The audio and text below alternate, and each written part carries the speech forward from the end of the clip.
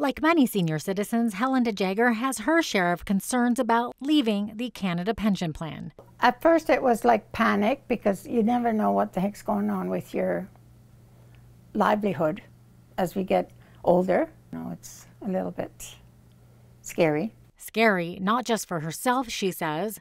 DeJager is worried for her kids who still have a few working years ahead of them. A little bit leery for the younger generation, let's put it that way. On the flip side, the provincial government says the people of Alberta pay too much into CPP compared to the benefits they receive, and that an Alberta pension plan would fix all of that. But for now, DeJager says she's not buying Premier Danielle Smith's promise that seniors and working Albertans could actually see more money in their pockets if Alberta pulls out of the federal plan for its own provincial one. I think that is just kind of a kind of enticing to make make it sound like they're benefiting, but we don't know that yet.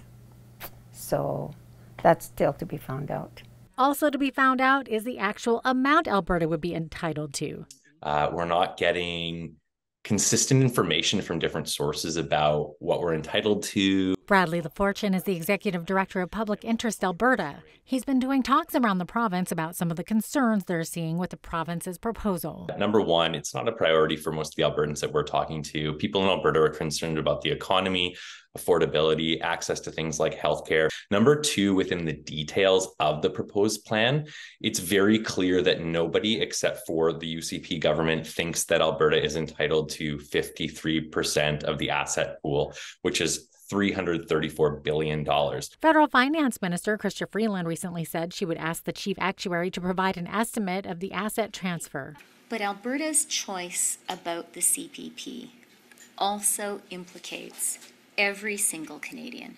And although Premier Smith did not address the issue during the UCP annual general meeting over the weekend, she did respond to questions about it at a media scrum. If there was any movement on that, it would be put to a referendum. All the assets would be put towards the fund, as well that you'd either have to see an equal or better benefits or equal or lower premium. I was pleased to see that Chrystia Freeland committed. And once we have that number, we'll have a better idea of whether or not Albertans want to go to a referendum. CPP has been with us since 66 it's been good for 60 years.